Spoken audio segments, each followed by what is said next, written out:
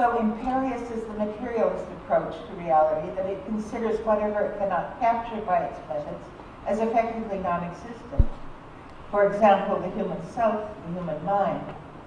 It marginalizes to the point of disappearance things we generally consider abstractions, for example, justice, wisdom, and beauty. The theologian may and must grant these even an especial reality,